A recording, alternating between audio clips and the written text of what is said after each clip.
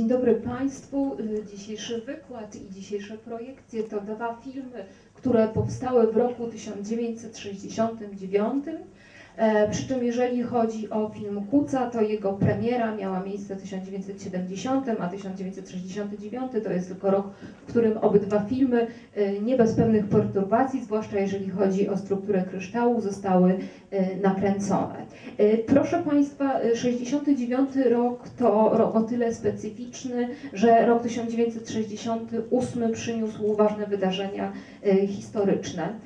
Ważne wypadki, które potem w znaczący sposób zaciążyły e, na całym polskim życiu intelektualnym i w pewien sposób zaciążyły także nad kinematografią, czego w filmach e, Zanussiego i e, Kuca jeszcze tak wyraźnie nie widać, aczkolwiek są już pewne tego e, zwiastuny. Jeżeli chodzi o e, ten rys e, historyczny i o wydarzenia roku 1968, ym, no to oczywiście marzec 68 tutaj jest dosyć ważny. I to, co się wtedy wydarzyło, czyli przede wszystkim nagonka antysemicka, tego w obydwu filmach jeszcze nie widać, ale już widać to, że mamy do czynienia w 68 z takim momentem polskiej kontestacji kontestacji e, mm, i buncie, buncie, który po raz pierwszy płynie e, od strony polskiej inteligencji, e, od strony polskich studentów e, i mamy do czynienia z taką sytuacją,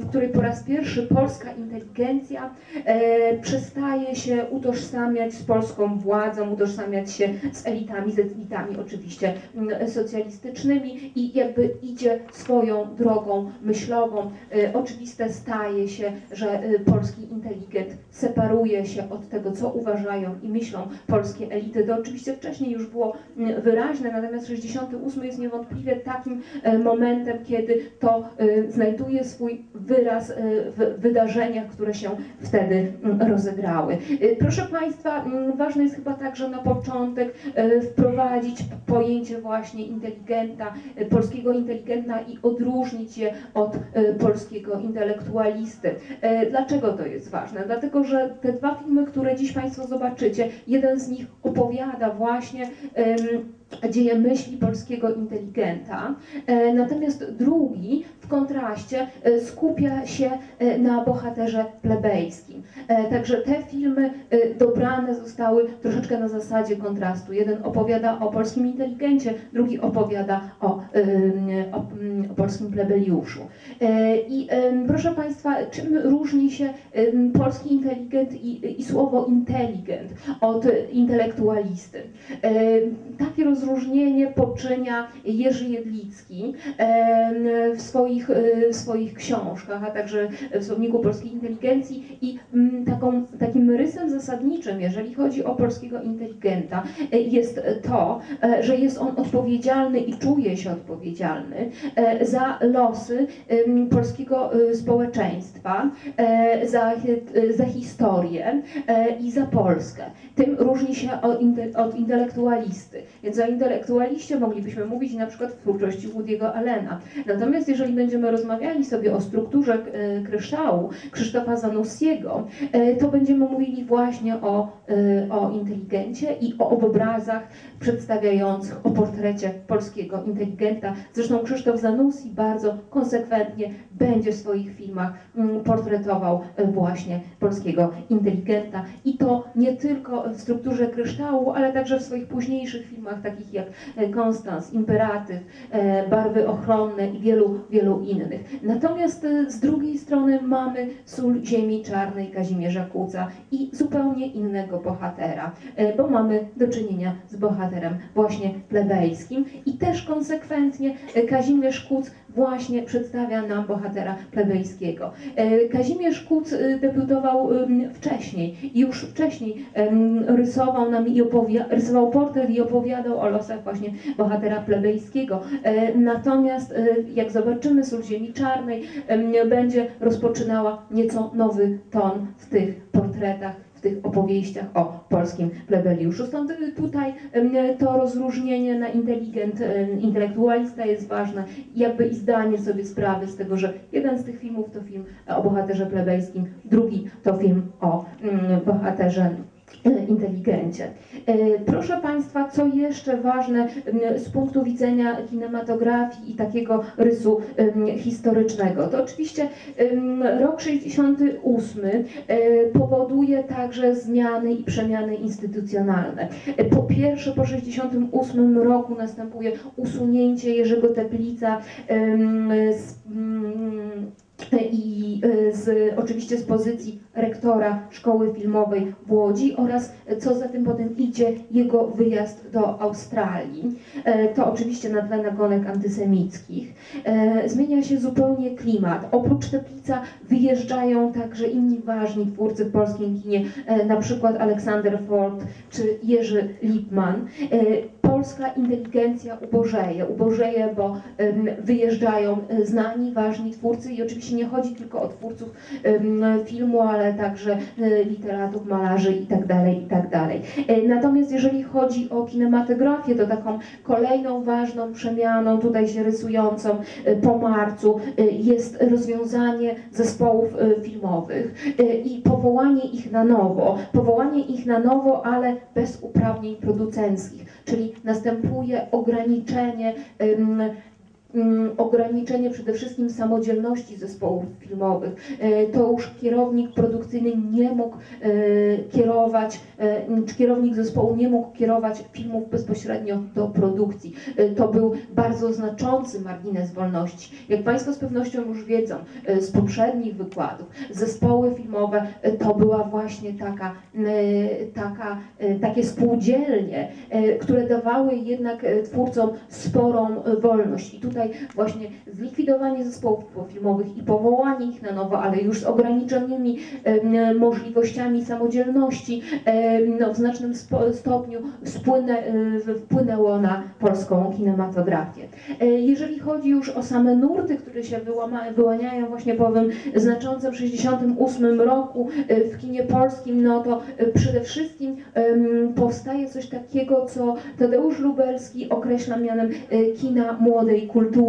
Em, I teraz e, co, cóż ten nurt e, daje? Przede wszystkim e, ten nurt powoduje, czy jego twórcy uznają za konieczne wzięcie odpowiedzialności za rzeczywistość i mówienie wprost, opisywanie tej szarej, często nieciekawej rzeczywistości, mówienie o nim, pokazywanie jej w całej swojej prawdzie, w swoim często ponurym wizerunku, ale jednak. I, I oczywiście tutaj e, w ten nurt e, kina młodej kultury będzie się wpisywał e, Zanussi. Zanussi wówczas reżyser tak naprawdę debiutujący, chociaż nie do końca, 30-paroletni, e, wykształcony, wszechstronnie wykształcony, będzie tym reżyserem, który będzie się właśnie w obrębie tego nurtu wypowiadał na temat otaczającej go rzeczywistości.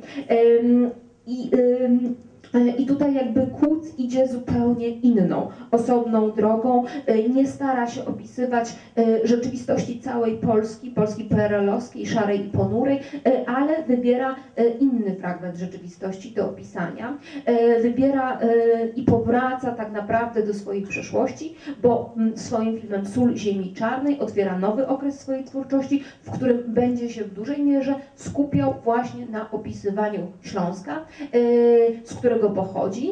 E, Pochodzi dokładnie z miasta Tychy e, i będzie się skupiał na tworzeniu mitologii Śląska i utrwalaniu tej mitologii w świadomości, e, w świadomości Polaków, która funkcjonowała przed filmami Kuca, czy przed Solą, Ziemi em, Czarnej w sposób marginalny. Tak naprawdę Polacy mieli schematyczne, stereotypową wizję taką Śląska. Niewiele się o tym rejonie mówiło, niewiele się mówiło o jego e, kulturze, o jego mieszkańcach, a to, co było mówione, e, nie odpowiadało do końca rzeczywistości, było albo zbyt sentymentalne, albo właśnie zbyt stereotypowe, czyli mit Śląska tak naprawdę e, w świadomości Polaków Kuc buduje od samego początku, wykorzystując do tego wspomnianego już bohatera plebejskiego. Proszę Państwa, czyli dwa filmy, dwa filmy z jednej strony opozycyjne, bo wizerunek wizerunek inteligenta i e, zbiorowy wizerunek plebeliusza y, u Kuca, czyli tutaj jakby opozycja, ale z drugiej strony y, także kilka elementów y, wspólnych. Y, Postaram się w, tym, w tych filmach wskazać. Przede wszystkim na, na poziomie budowy, budowy narracji i sposobu opowiadania, chociaż niewątpliwie w sposobie obrazowania więcej te filmy ni, różni niż łączy. Y, Ponieważ dzisiaj będziemy mieli okazję spotkać się z Krzysztofem Zanussim, y, który najlepiej wyeksplikuje znaczenie swojego filmu, y, to ja chyba szerzej omówię Sól Ziemi Czarnej. E, I pewnie temu filmowi e, z tego właśnie powodu poświęcę nieco więcej e, uwagi.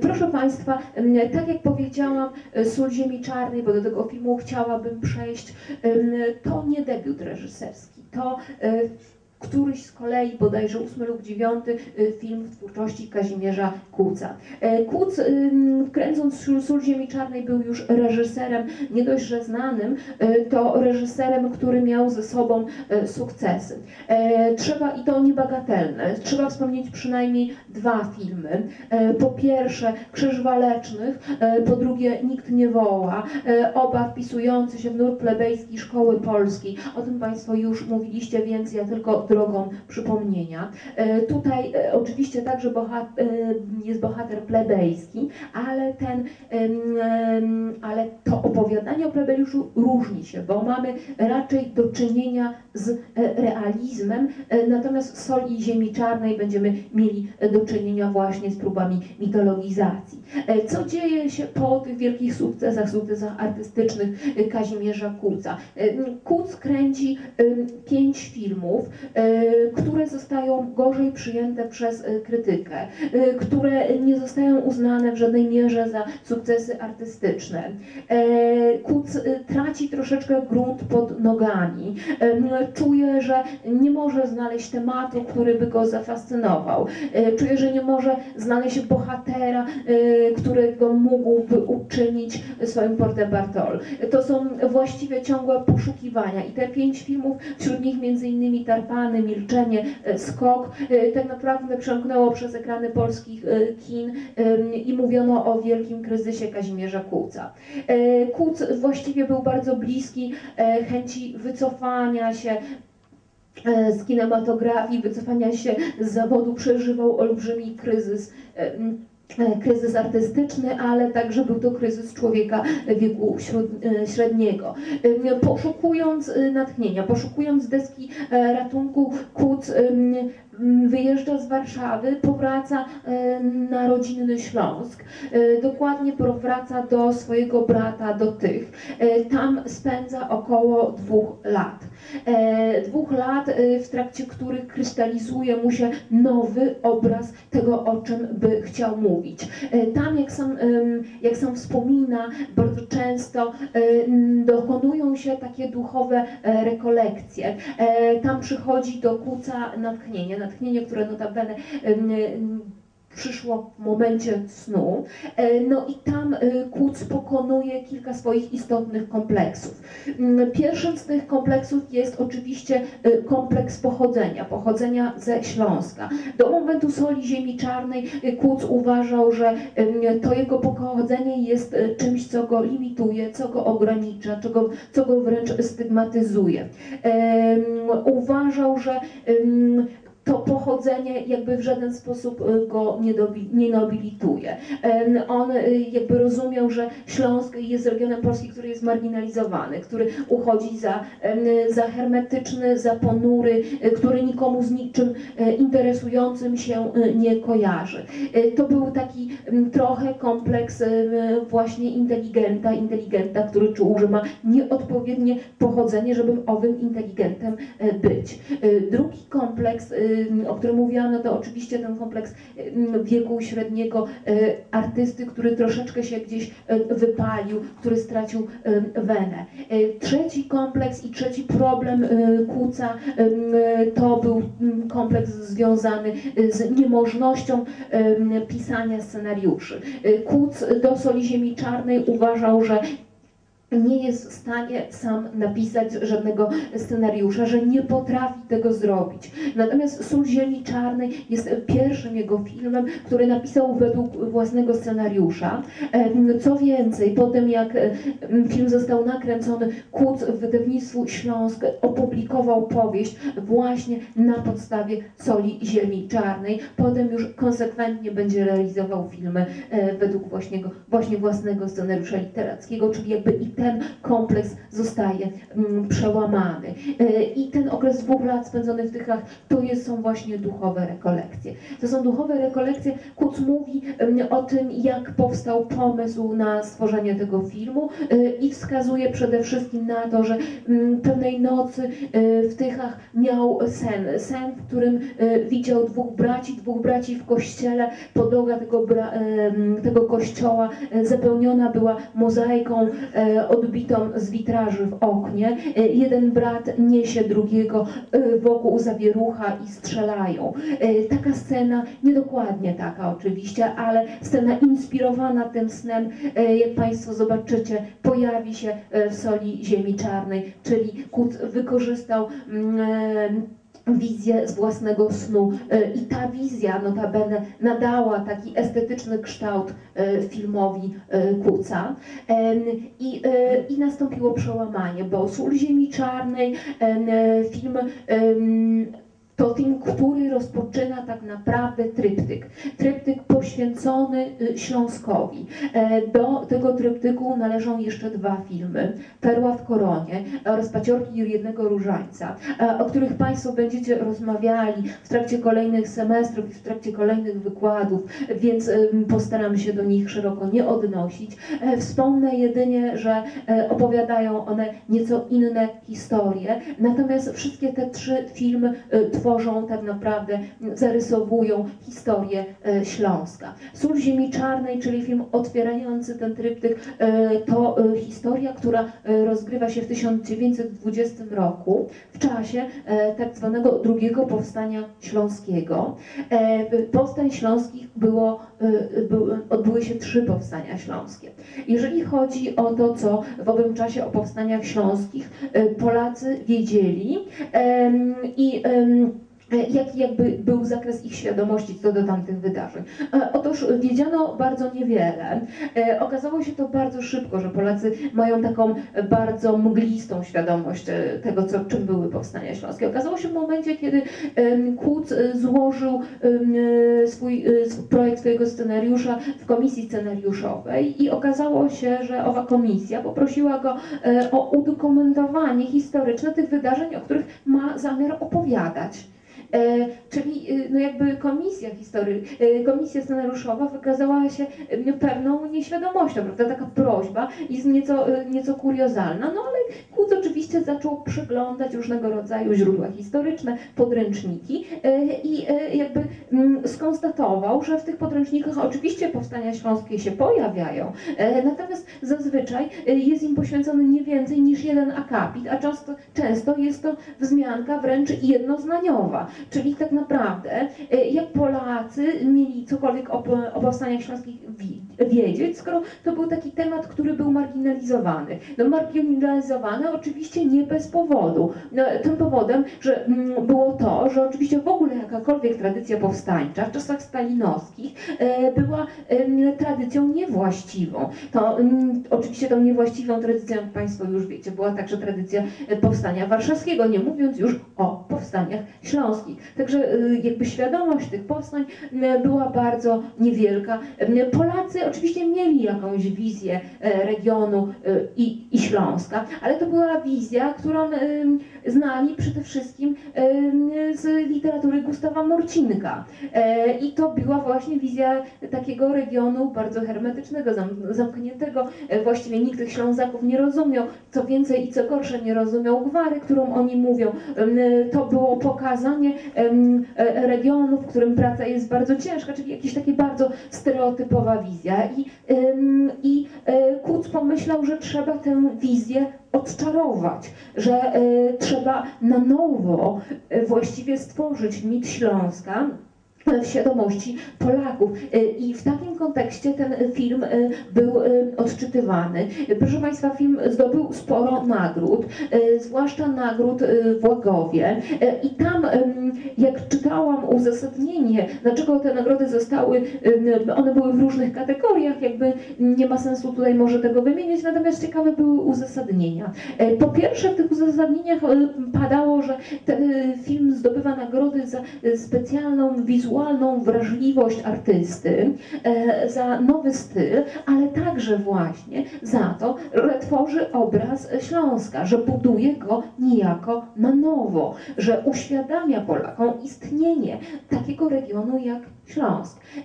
Kłuc oczywiście, kiedy już przełamał ten swój kompleks śląski, nazywał Śląsk piątą stroną świata. Dokładnie takiego sformułowania używał. No i jako tą piątą stronę świata w naszej świadomości ten Śląsk e, ukonstytuował. Można też oczywiście cały tryptyk e, kucowski wpisać w takie pojęcie e, kina regionów. W Polsce właściwie Kuc jest takim twórcą wyjątkowym. Jeżeli mówimy, możemy mówić o kinie regionów, kinie pokazującym przecież nie tylko historię jakiegoś regionu, ale także mentalność mieszkańców tego regionu, sposób ich życia, to tylko Kuc nam pozostaje to właściwie tylko Kuc jest e, takim reżyserem, który próbuje właśnie na nimbie tego kina regionów działać. W mniejszym stopniu może robi to także Filip Bajon, jeżeli chodzi o Wielkopolskę. Natomiast przede wszystkim tutaj e, jest e, ważny Kuc. Kuc też oprócz tego, że nazywa Śląsk swoją piątą stroną świata, to także mówi o tym, że Śląsk to jego mała ojczyzna e, i ustanawia właśnie bardzo wyraziście mit owej e, małej ojczyzny.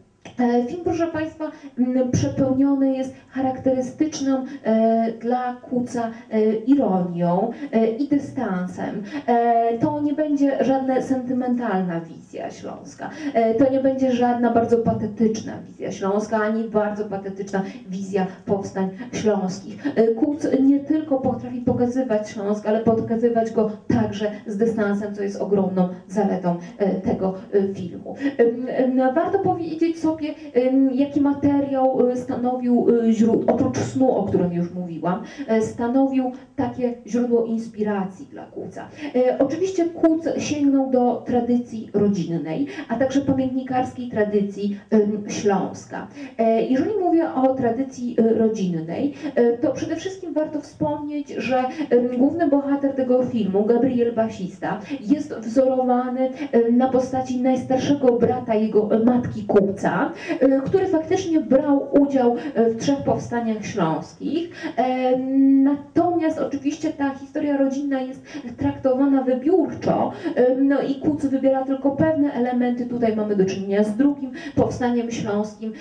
Natomiast finał filmu jest, rozegrał się tak naprawdę w ciągu pierwszych, pierwszego powstania śląskiego. To jest jedna rzecz.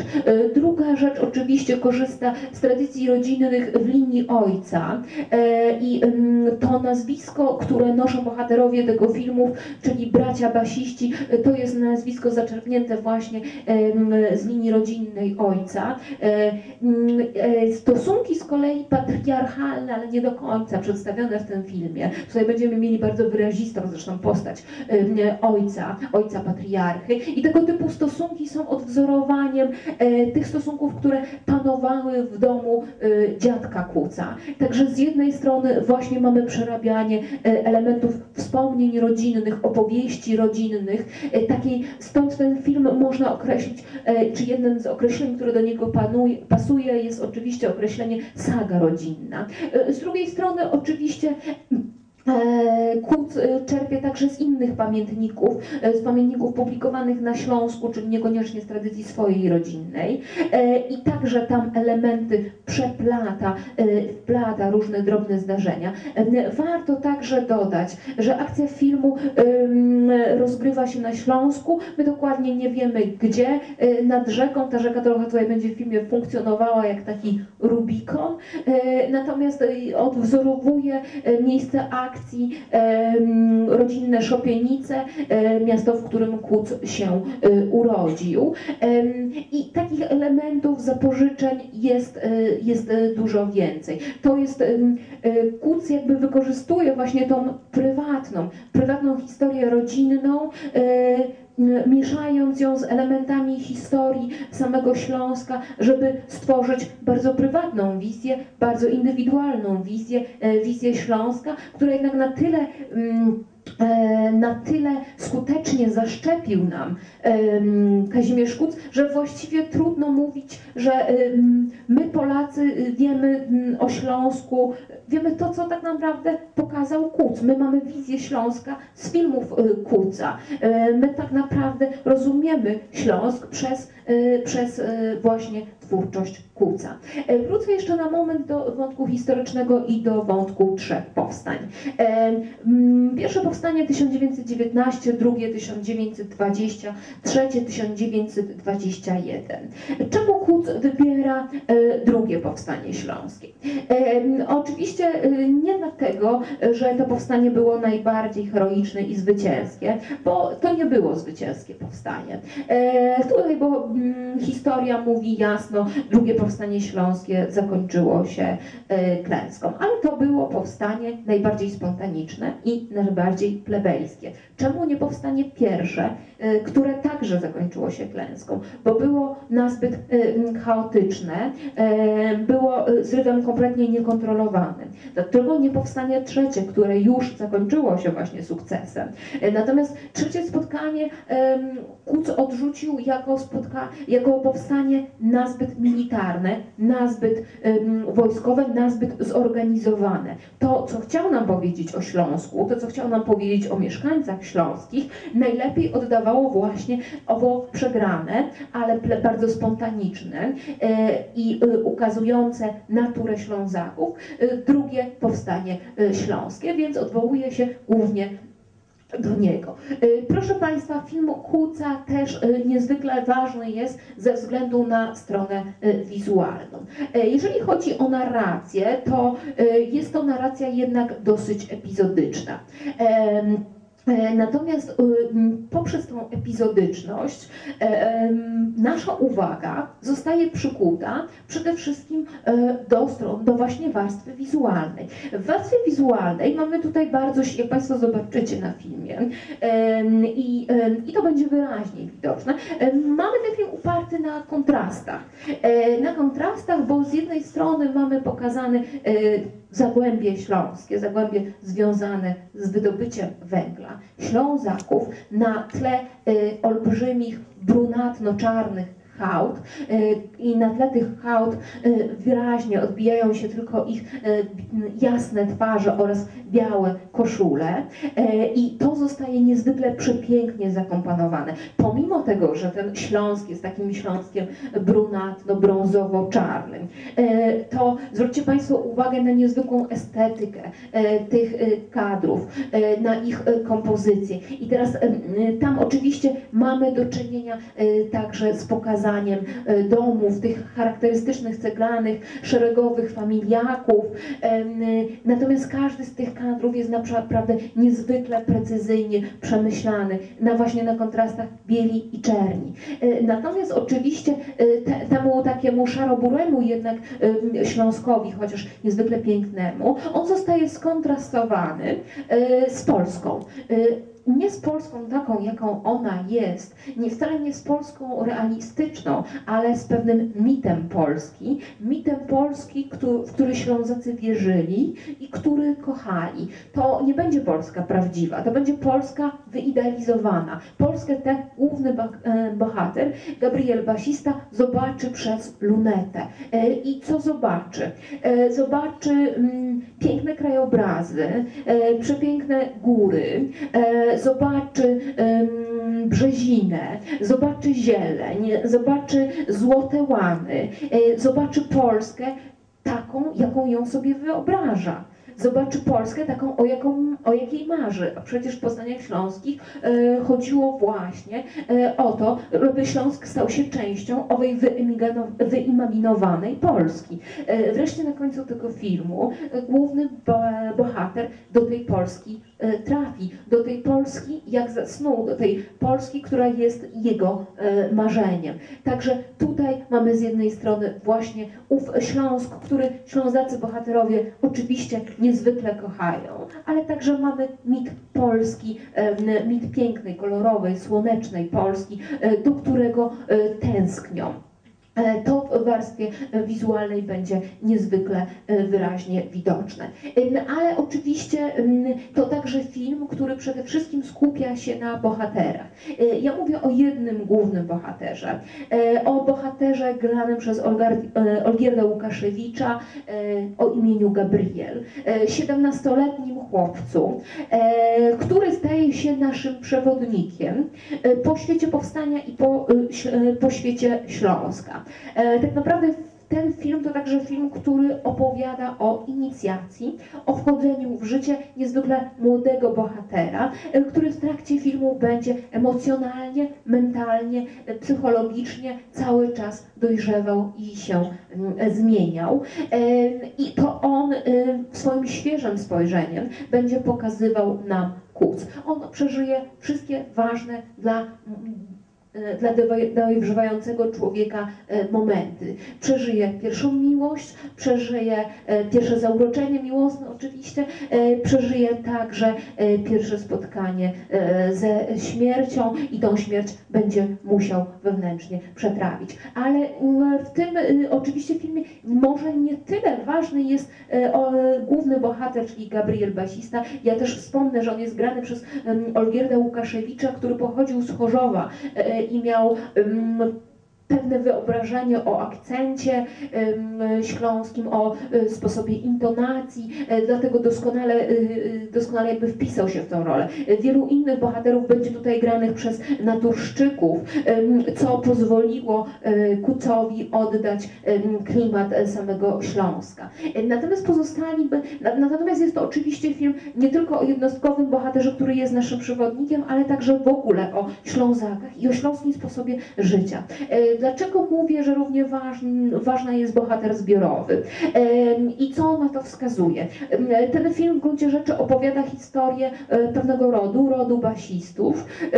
Ród ten składa się z matki ojca, siedmiu synów, którzy poszli do powstania, więc film ten można traktować jako właśnie taką balladę o siedmiu synach, którzy poszli do powstania e, i kilku córek, e, dokładnie ile ich jest, to nie wiemy, bo tutaj na męskiej części rodziny film się skupia. E, Natomiast oprócz, e, oprócz Gabriela ża- żaden z tych braci nie nabiera takich rysów indywidualnych. E, Kiedy bracia idą do powstania, dołączają do, dołączają do oddziału, to ich koledzy krzyczą idą basiści. Nie wymieniają ich z imienia i nazwiska, tylko raz w filmie robi to ojciec.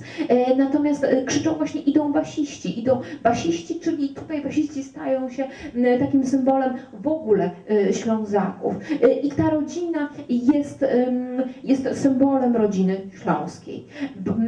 Bo oprócz tego, że e, tutaj główni bohaterowie, ta rodzina basistów, siedmiu synów, którzy poszli do powstania, będą oczywiście żyli patriotyczne uczucia w stosunku do, do Śląska, o którego niepodległość walczą, to także istotną życią, istotną istotnym elementem w ich życiu e, będzie rodzina. E, I tutaj mamy do czynienia z takim e, ważnym archetypem. Po pierwsze archetypem rodziny, ale także archetypem domu. E, Dom będzie tutaj, e, jak Państwo zwrócicie uwagę, zajmował centralną pozycję. E, Jak powstanie będzie już przegrane, to ostatnim takim miejscem, które będzie bronione, takim ostatnim przyczółkiem Ślązaków będzie właśnie dom basistów.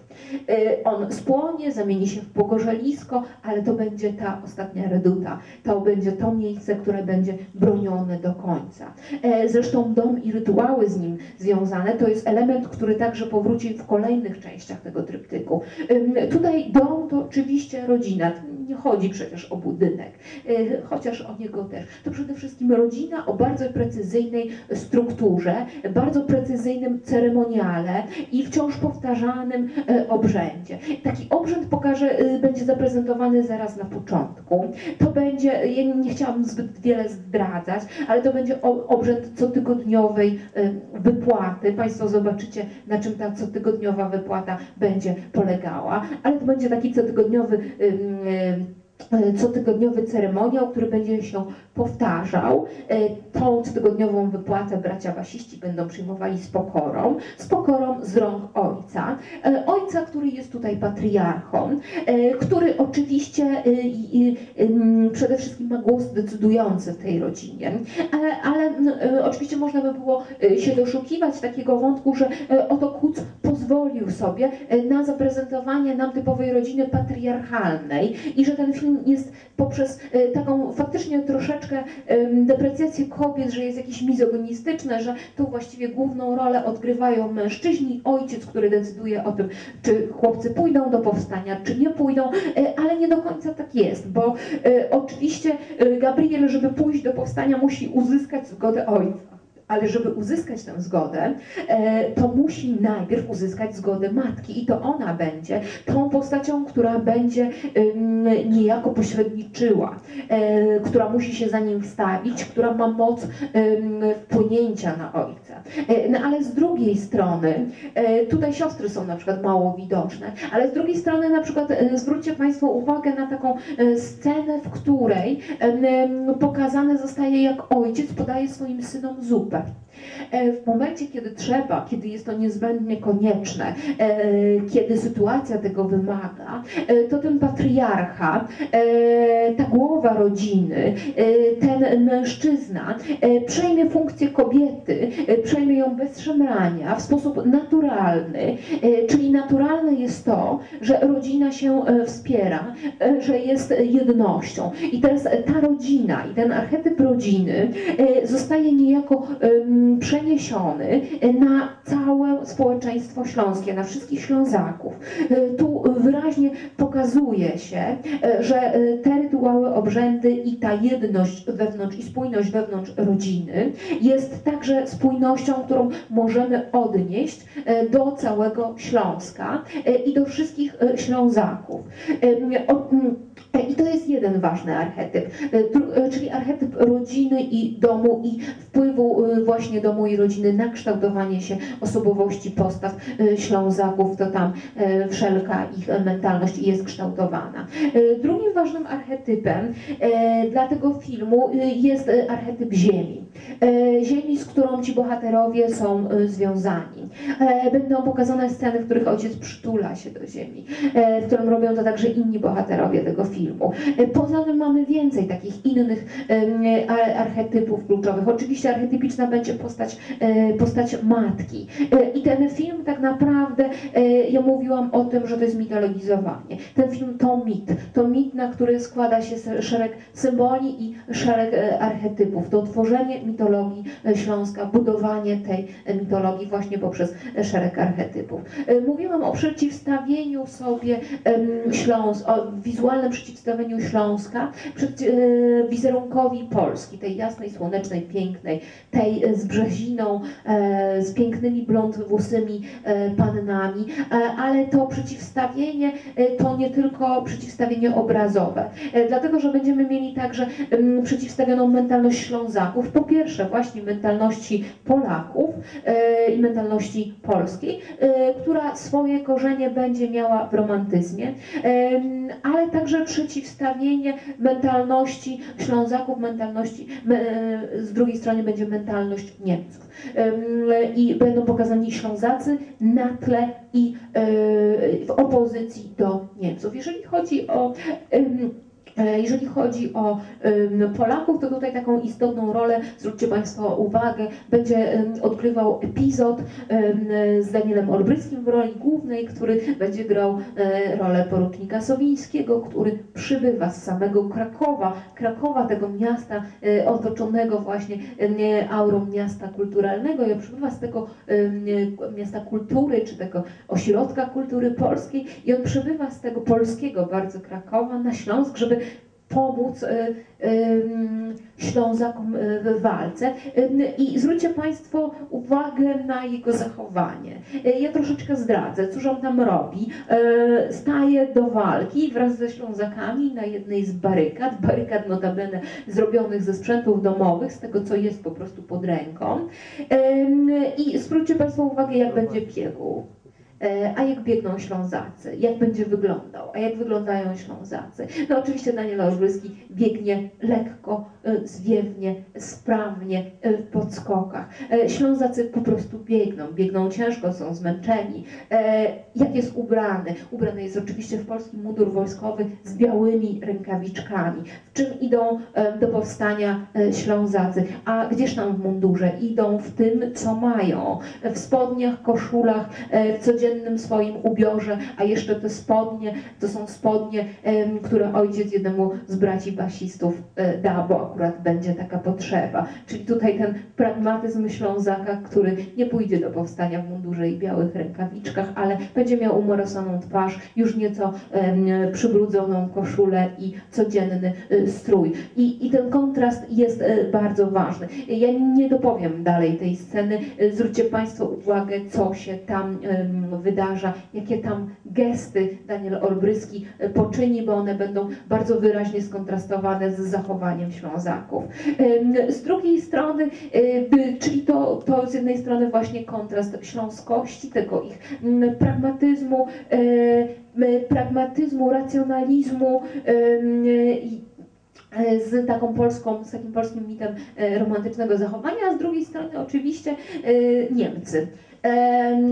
Wojska powstańcze e, i wojska niemieckie. E, No Niemcy to będą ci, którzy do boju będą szli w pełnym rysztunku, e, odpowiednio uformowani, będą szli mm, w szeregach, będą zdyscyplinowani, Natomiast Ślązacy, oczywiście także umundurowani w odpowiednim szyku wojskowym, będą się słuchali e, swojego dowódcy, precyzyjnie wykonywali rozkazy, natomiast Ślązacy, e, Ślązacy zupełnie inaczej. E, Ślązacy gromadą, Ślązacy spontanicznie pójdą do powstania, e, pójdą do powstania z werwą w filmie Kuca, oczywiście z dużą energią, ale, ale jako jednak masa, masa, masa ludzi, którzy nie do końca będą chcieli wykonywać e, rozkazy dowódcy, który, jak zauważycie Państwo, będą te e, rozkazy bardzo często łamali.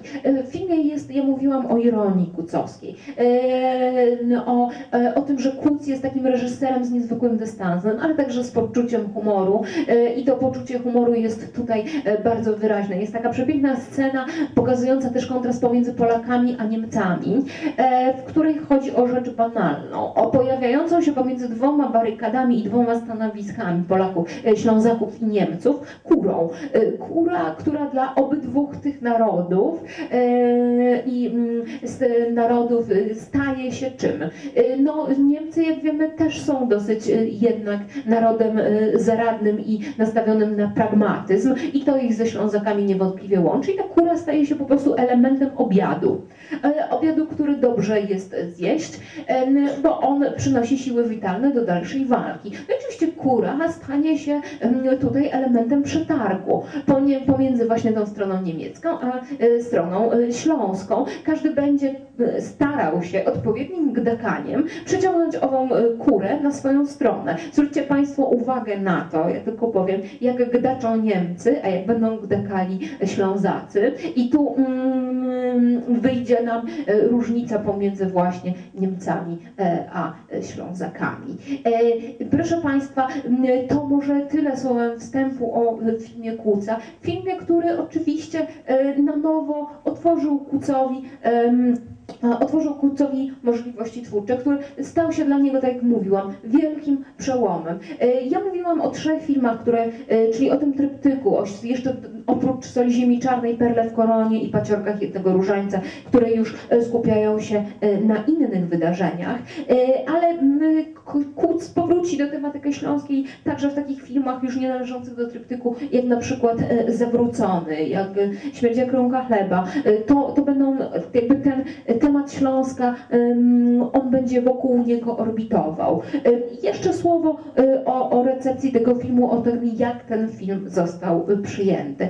No, proszę Państwa, w PRL-owskiej Polsce, e, co, co zaskakujące, ten film okazał się em, manifestem ruchu wyzwoleńczego polskiej lewicy. Tak tak o nim pisano, że to jest odnowienie tradycji polskiej lewicy i jej walki narodowo-wyzwoleńczej.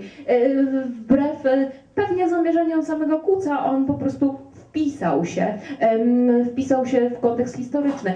A mm, proszę Państwa, no też ja jeszcze raz przywołam 68 rok, e, bo w owym 68 roku e, pisano o, o wichrzycielach, prawda? Prasa szeroko pisała o, o tym, że precz z wichrzycielami, wichrzycielami, którzy wywołują zamieszki. E, A film Kuca to przecież film owych wichrzycieli, tylko że w innym czasie osadzonych, w innym kontekście historycznym, nobilitujący, nobilitujący i przywracający im em, przede wszystkim godność. E, Także oczywiście recepcja tego filmu e, była niespodziewana, pewnie także niespodziewana dla samego Kuca, Niew- niewątpliwie jednak e, na nowo otworzyła wrota jego kariery i potem Kuc jakby ten temat kontynuował.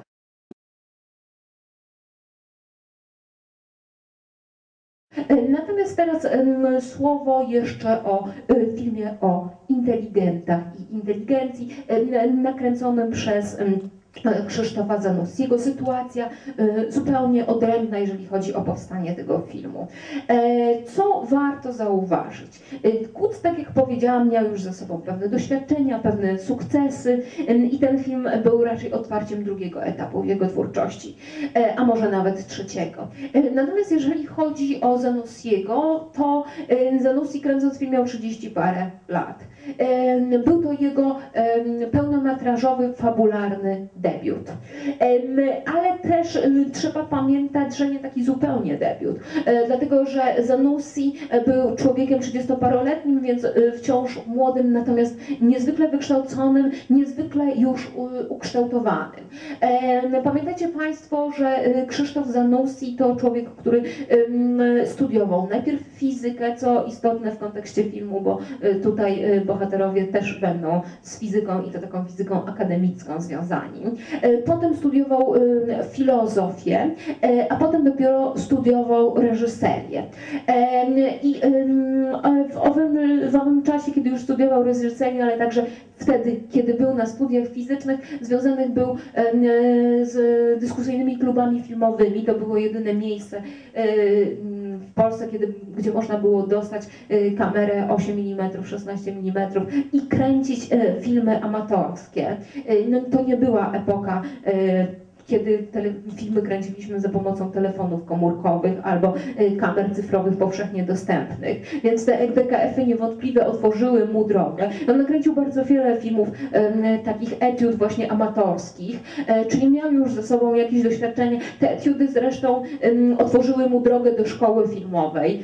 E, One były nagradzane. E, Zanim powstała struktura kryształu, też należy pamiętać, że powstała śmierć prowincjała. Krzysztof Kieślowski z- żartuje, że to taki film, w którym niewiele się mówi i dobrze, bo dźwięk w polskim kinie był wówczas horrendalny. Natomiast e, ten pół godziny na śmierć prowincjała to też już było pewne e, doświadczenie. E, Ale pełnometrażowy debiut to właśnie struktura, struktura kryształu. Zanussi jest, to był film który kręcił jeszcze w szkole filmowej. Ten film oczywiście też nie obyło się bez problemów. Początkowo on był o wiele dłuższy. Ja mam nadzieję, że o tym pan Krzysztof, kiedy przyjedzie, Państwu opowie, więc jakby to postaram się ominąć. Natomiast jeżeli chodzi o strukturę kryształu, to jest to film, który jest bardzo reprezentatywny dla twórczości Zanussiego. Po pierwsze, jeżeli Państwo się spodziewacie, że obejrzycie za moment film, który będzie miał akcję wyrazistych bohaterów, konflikt i punkty zwrotne, rozwiązanie i wszystko jak Pan Bóg przykazał, czyli zgodnie z tradycjami kina hollywoodzkiego, to bardzo się zdziwicie, bo sam Zanussi mówi, że w gruncie rzeczy to nudny film i może na to należy się przygotować. Faktycznie to nie jest film nakręcony zgodnie z hollywoodzkimi prawami rzemiosła, zwłaszcza jeżeli chodzi o scenariusz, bo między Bogiem a prawdą scenariusza tutaj wcale nie było. Był jedynie zarys sytuacji, były wątki tematyczne, które aktorzy improwizowali na planie filmowym, które mieli za zadanie zinterpretować i rozwinąć. Był oczywiście pomysł, pomysł literacki początkowo. Krzysztof Zanussi ten film próbował pisać z Edwardem Żebrowskim, z którym współpracował kilkakrotnie wcześniej, e, natomiast e, Żebrowski jakby zaczął czuć, że to już nie jest jego tematyka, że to nie jest jego film, e, więc w napisach, w napisach funkcjonuje właśnie jak, jako taki konsultant literacki. Ten film już jest filmem ewidentnie autorskim Krzysztofa Zanussiego. I ponieważ, tak jak powiedziałam, nie ma się co spodziewać akcji, gdybym chciała teraz Państwu opowiedzieć tę akcję, to zrobiłabym to w jednym maksymalnie dwóch zdaniach, ponieważ w tym filmie nic się nie dzieje. E, nic się nie dzieje, nie ma akcji, nie ma konfliktu, e, co dziwne, e, nie ma także żadnych punktów zwrotnych. Intryga e, nie będzie zmierzała w żadnym konkretnym kierunku, prawda? Film e, zrobiony e, zgodnie z dobrym rzemiosłem hollywoodzkim powinien mieć intrygę zmierzającą w konkretnym kierunku. Tutaj takiej intrygi nie będzie będą takie, powiedzmy sobie, sobie wątki, które my byśmy chcieli jako widzowie, żeby one zostały e, rozwinięte. E, natomiast to się nie zdarzy. Pierwszym takim wątkiem, e, który będzie widza, który od którego widz oczekuje, że ten wątek zostanie rozwinięty, to to jest wątek erotyczny. E, on się pojawi, prawda? I to przykuwa od razu uwagę widza. E, wątek wręcz trójkąta miłosnego e, pomiędzy dwoma głównymi bohaterami tego filmu, Janem Markiem oraz żoną jednego z bohaterów, Anną. I tutaj jakby Zanussi zarysowuje delikatnie i sugeruje, że tam może dojść do jakiegoś trójkąta miłosnego, ale nie oczekujcie Państwo, że to zostanie rozwinięte. Drugi wątek, taki trop, który nam Zanussi pod, podsuwa, a który my, mm, nam się wydaje, że to powinno być wyjaśnione, że my się czegoś mamy dowiedzieć. To jest wątek dotyczący przeszłości jednego z bohaterów, e, e, do, dokładnie dotyczący tego, jak zrobił karierę naukową. E, I oczywiście ten wątek także wcale nie zostaje w żaden sposób wyjaśniony. Raczej w filmie, jeżeli chodzi o takie klasyczne myślenie scenariuszem hollywoodzkim, to zostajemy pozostawieni z samymi pytaniami, a żadnych absolutnie odpowiedzi. E, no to e, o czym jest półtorej godziny filmu Struktura kryształu chciałoby się zapytać, skoro nie ma akcji i wszystko jest nie tak. To jest film dyskursywny. E, to jest film dyskursywny, co oznacza, że ten film skierowany jest na pokazywanie nam biegu myśli bohaterów i E, to jest film, który ma za zadanie e, argumentować, który stawia przed nami dylematy e, filozoficzne. A jeżeli chodzi o filozofię, to te dylematy będą właśnie i przede wszystkim z zakresu etyki i z zakresu aksjologii. E, to będzie Zanussiego interesowało. Takim naczelnym pytaniem, na który, na, wokół którego swój dyskurs intelektualny Zanussi skupia, to jest e, tak naprawdę pytanie, jak żyć e, jak żyć, jaki sens ma życie. E, I dwójka bohaterów, którą Państwo zobaczycie, dwóch inteligentów, to dwóch inteligentów, który, którzy mm, przyjmują dwie różne postawy i na dwa różne sposoby odpowiadają e, swoim życiem, zachowaniem, czynami na to pytanie, jak żyć. E, Jeden z nich, Marek, związany jest e, z miastem, robi karierę naukową, e, jest e, doktorem, doktorem fizyki. E, Drugi, Jan, e, kiedyś studiował fizykę i zapowiadał się na dosko- doskonałego akademika, naukowca. Natomiast ma za sobą pewne przeżycie, o którym nie będę mówiła, które skłoniło go do wybrania innej drogi życiowej. Postanowił wyjechać na prowincję, na wieś i prowadzić życie kontemplacyjne. Życie w zgodzie z naturą. Tak naprawdę Jan em, jest, reprezentuje inteligenta, e, idealistę, natomiast Marek będzie e, reprezentował inteligenta z jednej strony realistę, a z drugiej strony to także konformistę. E, I ten e, film e, oparty jest na kontraście, na kontraście dwóch postaw, dwóch postaw życiowych. I teraz oczywiście ten kontrast dwóch postaw życiowych, dwóch dróg e, życia, dwóch sposobów na życie, em, dwóch sposobów określania celu w życiu jest takim elementem charakterystycznym w ogóle dla kina Zanussiego. Ten wątek powróci chyba najwyraźniej w późniejszym filmie Krzysztofa Zanussiego, czyli w barwach ochronnych, ale także w wielu innych e, filmach.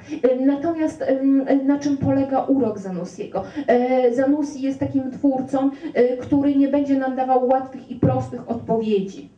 E, On e, nie będzie wskazywał na to, która z tych dwóch dróg jest lepsza.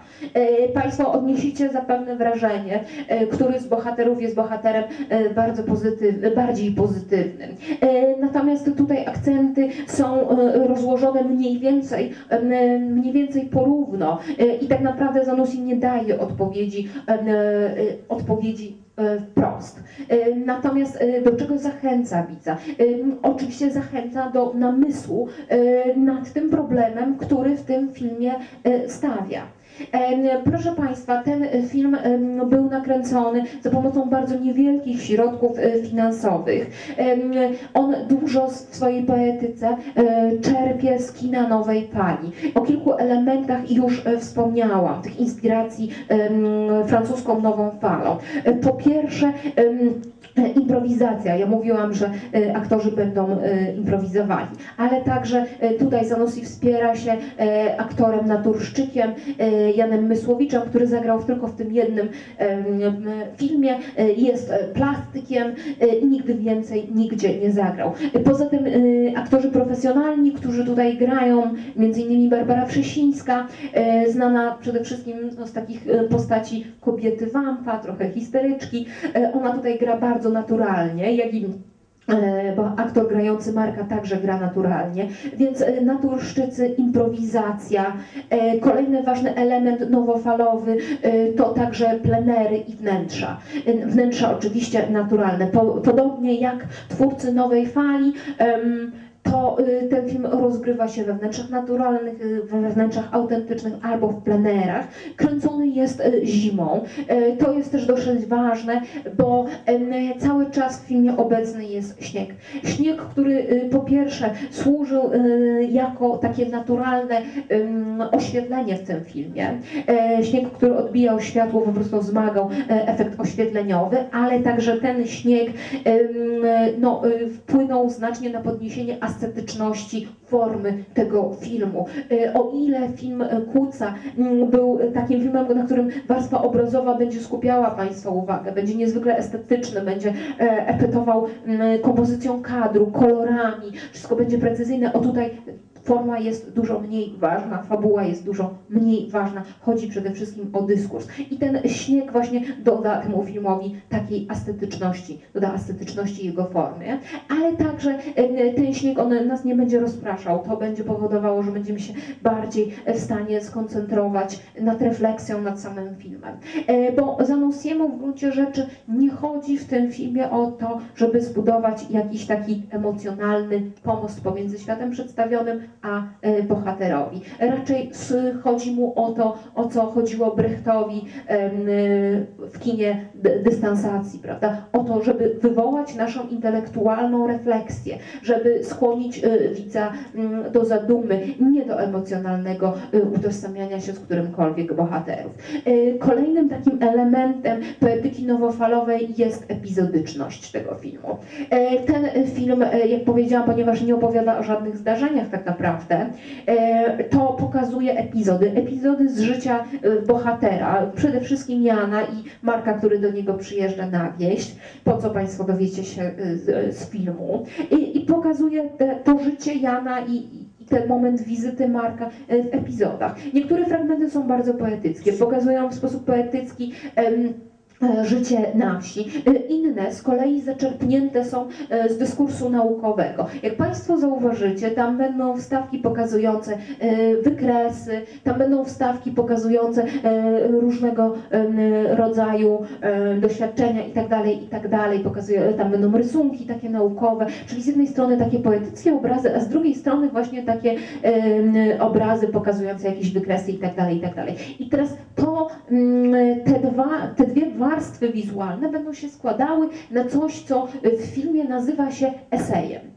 E, Tutaj możemy mówić, jeżeli chodzi o gatunek, właśnie o esej. Esej filmowy. Mamy także do czynienia oczywiście z esejem literackim. E, I teraz e, tą poetykę eseju oczywiście Zanussi rozwinie. Rozwinie przede wszystkim w swoim późniejszym filmie Iluminacja, ale już tutaj mamy do czynienia właśnie z esejem. Esejem, który z jednej strony wnosi odczucie autora jest e, taką bardzo e, prywatną e, eksplikacją pewnych poglądów, ale z drugiej strony ma też za zadanie argumentować na, za jakąś postawą. E, To Zanussi rozwinie w iluminacji. E, Na co jeszcze warto tutaj e, zwrócić uwagę? E, Te elementy, o których wspomniałam, są oczywiście nowofalowe i tutaj te inspiracje są wyraźne. Można mówić właśnie o strukturze film, e, o strukturze kryształu jako takim polskim przykładzie kina nowej fali, chociaż u nas nowa fala nie istniała.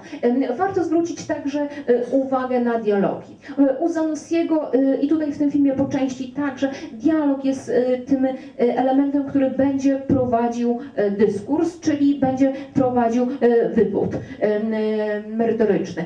Natomiast w tym filmie on został dosyć ograniczony w porównaniu do tego, jaką rolę dialog będzie spełniał późniejszych filmach Zanussiego. E, Tutaj on jest dosyć oszczędny i jednak Zanussi jeszcze posługuje się obrazem. Chociaż oczywiście w dialogu bohaterowie już będą wykładali swoje e, racje. E, Czyli warto zwrócić właśnie uwagę na funkcję dialogu, który będzie podążał za biegiem myśli bohaterów.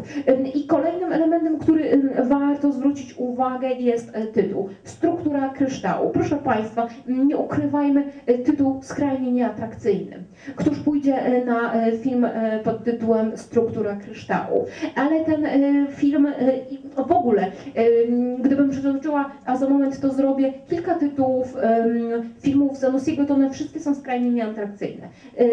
Na przykład Imperatyw, prawda? Bilans kwartalny. To są takie tytuły iluminacja. To już czujemy, że one są właśnie z tego porządku dyskursu naukowego, prawda? Ma- Mało filmowe, mało chwytliwe.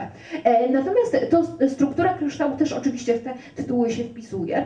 I to jest taki tytuł, który z jednej strony ma wartość konotacyjną, a z drugiej strony taką wartość e, denotacyjną. E, Z jednej strony na poziomie fabularnym em, dylematy naukowe jednego z bohaterów będą właśnie związane ze strukturą kryształu. To będzie to, co on bada w swoim życiu naukowca fizyka, a z drugiej strony struktura kryształu to jest chyba ta struktura duszy, e, do której dąży drugi z bohaterów. E, Struktura kryształu, czyli jakby też przenośnie traktowana, prawda? E, Chciałbym, żeby moje życie, żeby moja dusza, żeby, żebym ja był jak struktura kryształu, idealny. Natomiast tak naprawdę Zanussi jest przede wszystkim autorem filmowym. Jest twórcą, który konsekwentnie realizuje swój e, styl, E, twórcą, który konsekwentnie właśnie proponuje nam nie kino akcji, nie kino konfliktu, e, tylko kino dyskursywne. I ja jeszcze do tego konfliktu nawiążę na koniec. Oczywiście ja mówiłam, że to jest że struktura kryształu to film, w którym mamy dwóch bohaterów i dwie postawy. E, No jak mamy dwóch bohaterów i dwie odrębne postawy, e, to wydaje nam się, że konflikt powinien być oczywisty, że to prowokuje stworzenie tego konfliktu, ale w tym filmie do żadnego konfliktu nie dojdzie, e, dlatego że ci dwaj bohaterowie, jak Państwo zobaczycie, będą potrafili słuchać siebie nawzajem. Poprzez to, że one nie słuchają siebie nawzajem, że oni to oni także rozumieją po części swoje argumenty nawzajem. Nie dochodzi do konfliktu. E, Na końcu nic się nie zmienia. Wszyscy zostają przy tych stanowiskach, przy których byli e, na początku. E, Natomiast Zanussi uczy nas jednej ważnej rzeczy, którą bym chciała powiedzieć na końcu. Zanussi niewątpliwie jest twórcą, który uczy nas dyskutować.